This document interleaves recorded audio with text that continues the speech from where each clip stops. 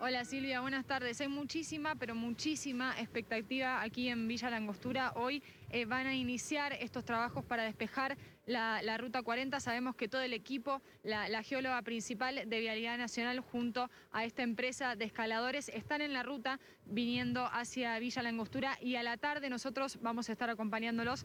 Por supuesto van a hacer una inspección ocular para determinar cómo va a empezar este trabajo en el día de mañana, este ascenso de los escaladores que va a ser en el día de mañana. Pero estamos también acá en el Cerro Bayo, la verdad que de a poco Villa Langostura, según nos cuentan los vecinos, les vamos a regalar una imagen, a ver si el, paneo de, Mariano...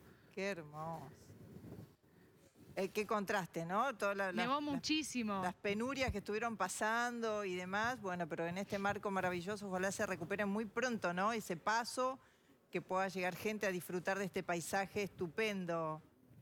¿Qué temperatura, Cata? ¿Tenés idea ahora?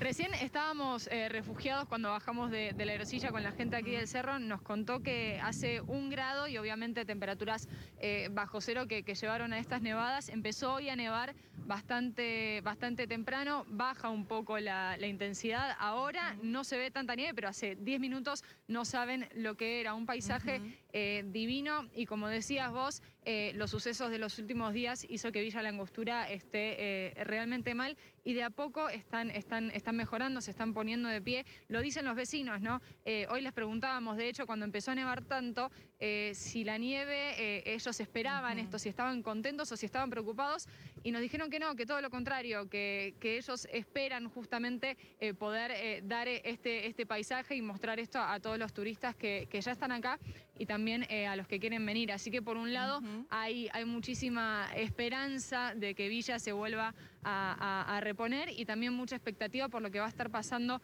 en el día de hoy y principalmente en el día de mañana, que es muy, pero muy importante.